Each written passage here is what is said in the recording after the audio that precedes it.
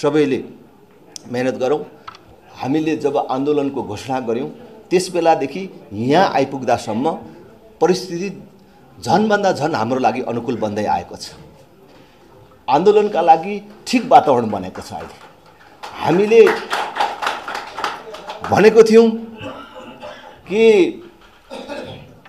अहिले नेतृत्व मात्रै होइन व्यवस्था नै असफल भइसक्यो। मान्छे फेरेर मात्रामा फरक पर्ला। अलि राम्रो मान्छे पऱ्यो भने अलिकति केही फरक देखिएला। तर यो व्यवस्था नै त्यस्तो छ कि यो व्यवस्था रहेसम्म हामीले सुशासनको कल्पना पनि गर्न सक्दैनौँ विकास र समृद्धिको पनि कल्पना गर्न सक्दैनौँ। त्यसकारण अब समस्या व्यक्तिमा मात्र होइन नेतृत्वमा मात्र होइन व्यवस्थामै भएको हुनाले व्यक्ति परिवर्तन गौण हो अब व्यवस्था परिवर्तन मूल मुद्दा हो भनेर हामीले भनेको थियौँ त्यो अहिले देखिएको छ। यो व्यवस्था रहेसम्म अहिले देशमा जे भइराखेको छ यो दुई दिनमा जे भइराखेको छ त्यस्तो भइरहेको छ। अहिले जनतालाई राष्ट्रिय प्रजातन्त्र पार्टीले उठाएको मुद्दा ठिक रहेछ।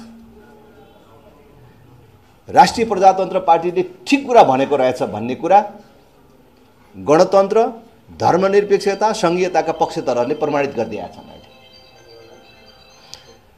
त्यसकारण हामी सबै साथीहरू उच्च मनोबलका साथ अगाडि बढौँ नकारात्मक खालका कुनै पनि प्रकारको टिका टिप्पणीहरू नगरौँ। राष्ट्रिय प्रजातन्त्र पार्टी अहिले वर्तमानमा जुन सत्ता केन्द्रित चलखेलहरू भइराखेको छ त्यसमा सहभागी हुँदैन।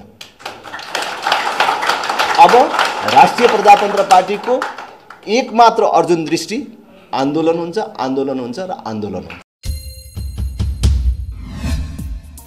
यही फागुन पच्चिसदेखि सत्ताइससम्म चितवन एक्सपो सेन्टर भरतपुरमा नवौं नेपाल फर्मा एक्सपो हुन गइरहेको छ। नेपाली औषधि उद्योगको दिगोपन र वृद्धिका लागि यो बृहत प्रदर्शनीमा एक सय पचास भन्दा बढी प्रदर्शकको सहभागिता रहनेछ। आयोजक नेपाल औषधि उत्पादक संघ सहयोग नेपाल सरकार औषधि व्यवस्था विभाग।